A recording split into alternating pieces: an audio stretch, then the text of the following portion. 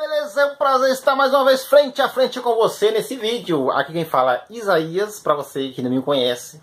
O meu nome é Isaías, tá? desenhista de retrato em São Paulo. Hoje eu vou contar para você aqui uma estratégia que alguns desenhistas malandro usam para ganhar dinheiro. Agora deixando bem claro que eu nunca usei essa estratégia. Para quem não sabe, eu já andei bastante, já viajei, e Bahia mesmo eu conheço mais de 200 municípios na Bahia. Que eu rodava, eu viajava, eu desenhava muito ao vivo, desenhava. Né? Eu morei em Goiânia, participei bastante daquelas. Quem é de lá sabe que tem aquelas, aquelas feiras hippie, tem aqueles, aqueles eventos também agropecuários, onde tem aquelas. Onde as, aqueles eventos bem bacanas lá, que a galera gosta de. Né, o goiano gosta. Aí lá eu desenhava muito ao vivo, desenhava o pessoal ao vivo. E participei de um evento na cidade por nome de Goiás Velho. Tá? Uma cidade antiga, uma cidade acho que mais velha do Goiás, acho que é a antiga capital de, de Goiás. Tá? Lá tem todo ano, não sei se ainda tem, mas tinha todo ano um festival internacional de cinema, que é um festival internacional de cinema.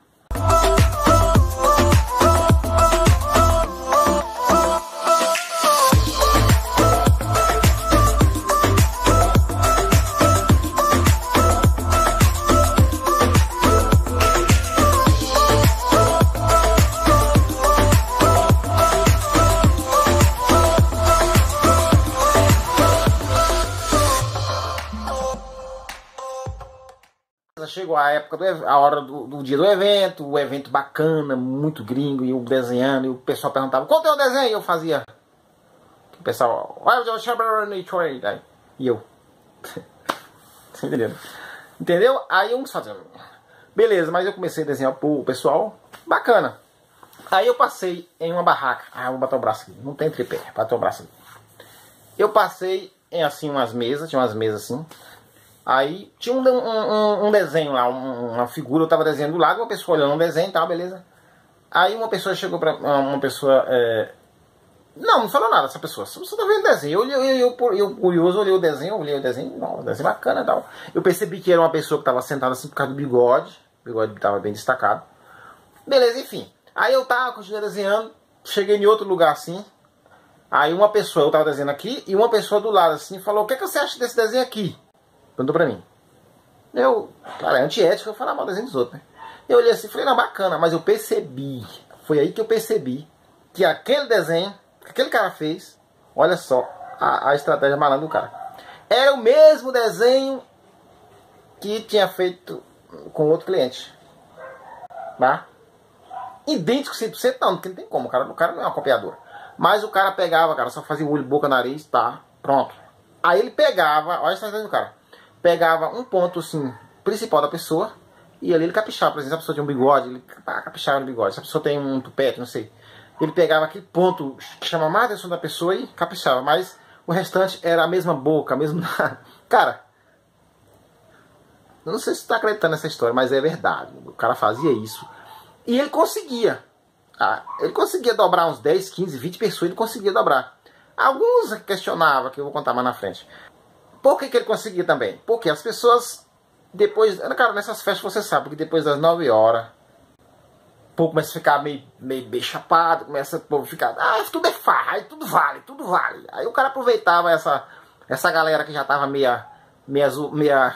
Entendeu? Aí ele pegava e vendia, o, fazia os desenhos dele lá e ganhava dinheiro com essa estratégia. O cara é malandro, malandro, malandro. Enfim, aí foi chegando em, outro, em, outro, em outra pessoa assim, ele é, ele estava desenhando assim, outra pessoa assim, aí uma, uma pessoa viu uma pessoa reclamando e chegou aí, esse desenho parece comigo não, não sei o que, não sei o que. Porque o desenho ao vivo, ele tem um segredo. Tá? Tem vários, mas esse aqui é um deles mais que eu considero ponto-chave. O desenho ao vivo, principalmente um desenho ao vivo sendo feito rápido, esses desenhos feitos na malandragem, vamos dizer assim, ele só funciona na hora. Tá? O desenho ao vivo, a maioria deles, quando é feito correndo, ele só funciona na hora, porque as pessoas estão tá ali olhando, é coisa psicológica, a pessoa está olhando ali o desenho, quem tá, a própria pessoa que está vendo pode ser que não se acha muito parecido, mas as pessoas que estão em volta falam, não, você tem igualzinho você, até a camisa, entendeu? Até a camisa, até, até, sei lá, até o brinco, até o seu nariz, um exemplo. seu bigode tá igual, não sei o quê.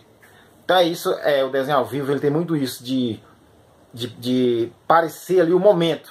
Aquele momento que a pessoa tá ali sentada, que a pessoa jogou um cabelo assim e tal.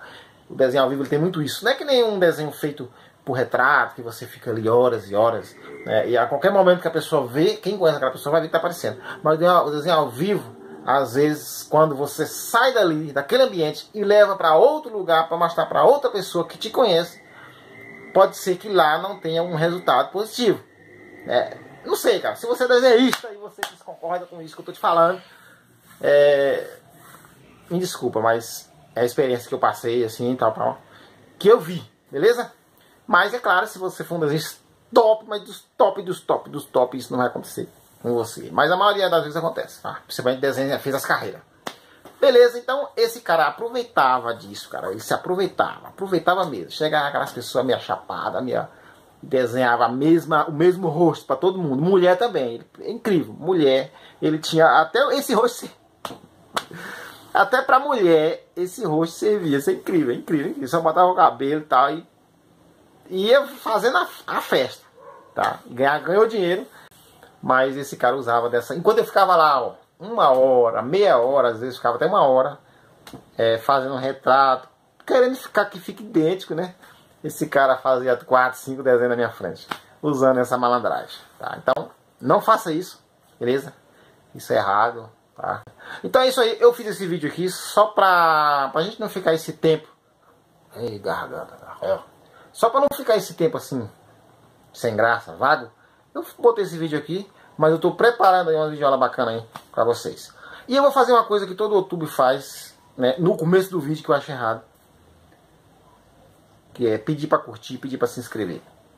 É, mas eu tô fazendo aqui já no final do vídeo. Tá? Então eu tô mais ou menos certo. Então é isso aí, cara. Curte o vídeo. Você que é acostumado todo dia a ver meus vídeos. Todo dia não, não posso todo dia.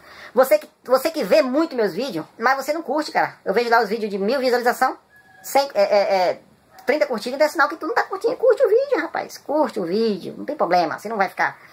Entendeu? Não vai fazer falta. Não, não vai ter. Vai ter. Não vai, não vai. É, é uma doação. É uma doação. Bota na cabeça. Eu vou doar. Eu vou doar pra alguém hoje. Curte o vídeo. Beleza? Então é isso aí. Até o próximo vídeo. Tchau, tchau.